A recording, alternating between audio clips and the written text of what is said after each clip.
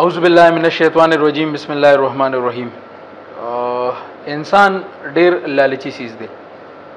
او د بعضې بعضې خلکو د خپل لالچ لپاره چې کم قبرونه دي هغه یې معاف نه کړل دا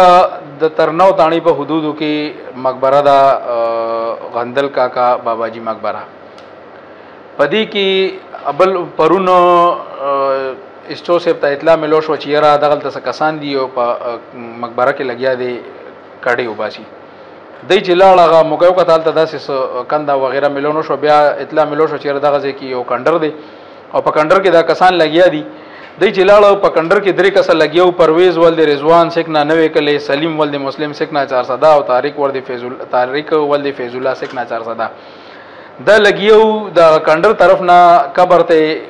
کودای شروع کړي و د یو کډه کړي دا چې هغه تقریبا 300 فوټه کولو ده او 17 18 فوټ چې کم دینو داغي لمبای د دی هغه قبر ته هغه کډه کوله لګیو قبر ته ځان نسولو دا ملزمان په موقع باندې ونی وشو د دې خلاف چې کم دینو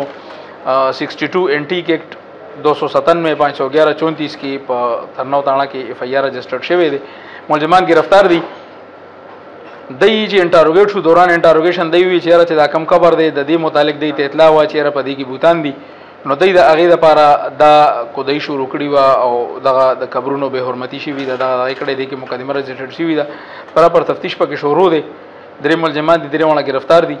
نور چې سی وی ان شاء الله نو هغه بیا بر وخت سره ډیسکس کوو مهرباني